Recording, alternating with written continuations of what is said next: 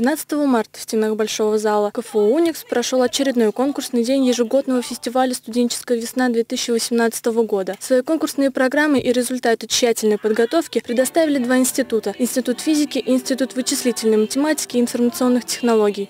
Коллектив Института физики вышел на сцену первым. Открыли конкурсную программу песни в сопровождении живого звука. Ребята представили на суд жюри увлекательную жизнь студентов-физиков. Связывает ли физика и творчество? Именно на этот вопрос пытались ответить артисты. Все это сопровождалось зажигательными хореографическими и вокальными постановками. Своим выступлением Институт физики смог доказать, что физика – это наука о жизни и для жизни. Институт вычислительной математики и информационных технологий в своей конкурсной программе решили донести до зрителя, что мечта вполне реальна реально к исполнению, надо лишь только приложить усилия и быть сильным духом. Все сопровождалось очень красивыми вокальными постановками и хореографией. Полный обзор смотрите на канале Univer TV.